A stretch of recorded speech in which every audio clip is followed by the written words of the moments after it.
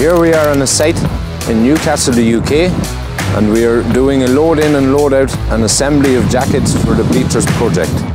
Over the past few weeks we have assembled and built the SGC 120 and today we will load test it and then it is final to hand over to the client for use. It's one of the world's most massive cranes. Compact and powerful, the SGC 120 can lift over 3,000 tons. Its low ground-bearing pressures mean it can be erected on site with a limited civil works impact. With the ring already installed on load-spreading steel mats, it's time to build the main frame. The deck panels go first, on top of the crane frame. Then, hydraulic winches and power packs for reliable load raising and lowering. The two back masts are next. The SGC 120 may be mighty, but it operates well in tight spaces, thanks to a compact ring design. Whether at offshore platforms or nuclear power plants, it does the heavy lifting without disrupting other site work. As the first back mast goes up, the team uses temporary bracing to keep everything secure.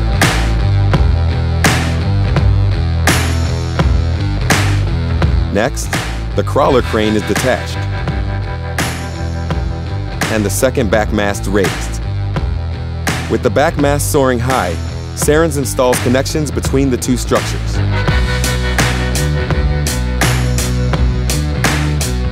The counterweights are next. 36 ballast containers, 100 tons each, packed with locally sourced materials, are loaded onto the platform.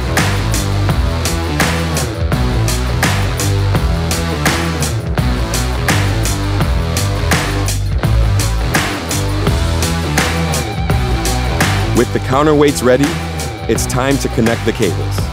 The team reeves the bridles, using thin cables to guide thicker ones into place. Then, the two back mast cables are connected, and the main boom, which the team has pre-assembled, is installed.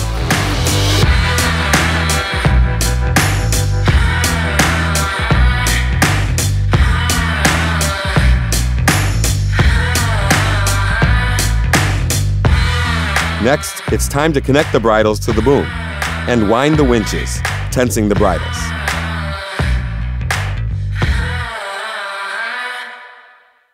The Sarens team reeves the pre-assembled hook block, a rope pulls the steel cable through the pulleys, this cable guides another, thicker one, from the winch and through the pulleys.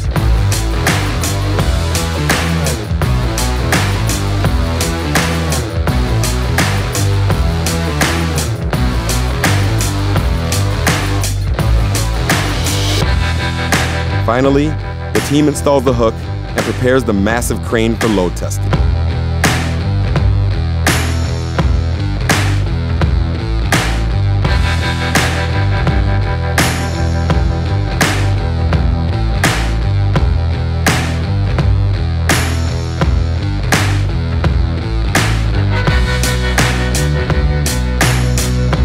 Assembling a crane like this is a project on itself. First of all, you need a lot of place. There's a 45 meter ring uh, footprint. The boom is 130 meters long, so you need place to assemble that one on the ground as well. You need a decent sized crawler crane to install the counterweights, which weigh 100 tons each, 36 of them.